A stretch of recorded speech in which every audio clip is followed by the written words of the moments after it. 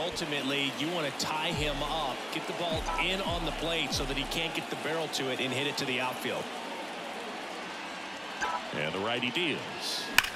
Schwarber swings and hammers one to right. Way back there. It's gone. Grand slam. He flexes his power with that swing. A four spot on the board. It's 7-2.